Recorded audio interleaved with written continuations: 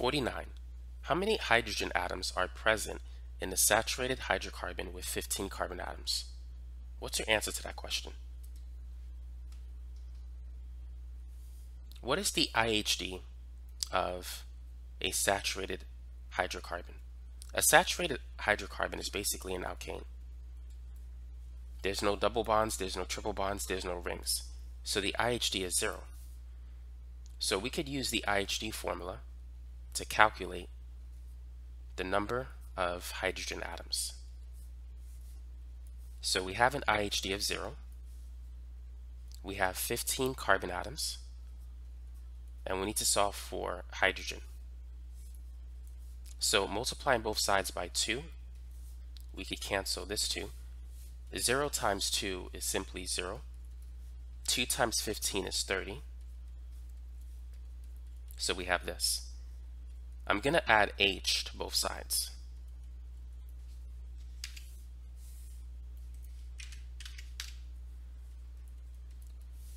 And then we have 30 plus 2, which is 32. So this is going to be the answer. 32 hydrogen atoms. Now for those of you who prefer to have a simple formula to get an answer like this, here's what you can do. We're going to rearrange the equation to solve for H. So we have IHD is equal to 2n plus 2 minus the number of hydrogens divided by 2.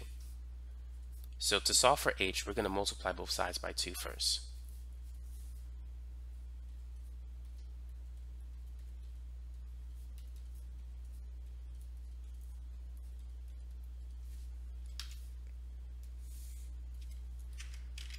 Now what I'm going to do is I'm going to take negative h and move it to this side. And I'm going to take the 2IHD, move it to that side. When I move negative h from the right to the left, it's going to change to positive h. And when I move positive 2IHD from the left to the right side, it's going to change to negative 2IHD. So that's the formula to calculate the number of hydrogen atoms if you know the number of carbon atoms and the IHD value. So let's redo this problem using this formula. So we have 15 carbon atoms and an IHD value of 0. So 2 times 15 is 30. 2 times 0 is 0. 30 plus 2 is 32. As you can see, it's a lot easier to calculate the number of hydrogens this way. So that's the answer for part A. We have 32 hydrogen atoms. Then what about part B? How many hydrogen atoms are present in an unsaturated 18 carbon hydrocarbon with an IHD value of 4? So the fact that we're dealing with a hydrocarbon means that there's only hydrogen and carbon. We don't have nitrogen, we don't have bromine, oxygen, anything like that. Just carbon and hydrogen. So using the formula, we have 18 carbon atoms and an IHD of 4. So we're going to replace N with 18 and we're going to replace the IHD value with 4.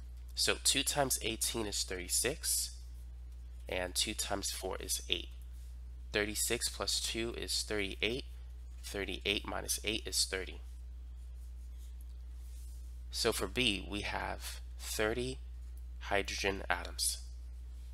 So that's how you can calculate the number of hydrogen atoms given the number of carbon atoms in a hydrocarbon and if you know the IHD value.